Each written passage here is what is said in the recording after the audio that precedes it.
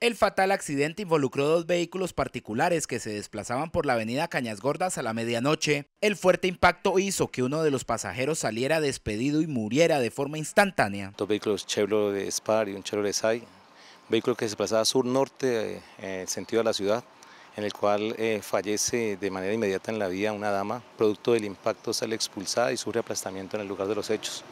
Ella venía en compañía de un adulto y un menor, fueron eh, desplazados inmediatamente a un centro asistencial. Las autoridades no descartan un posible exceso de velocidad sumado a otras maniobras de uno de los dos vehículos. Es materia de investigación, eh, se está adelantando una investigación directamente con la Fiscalía.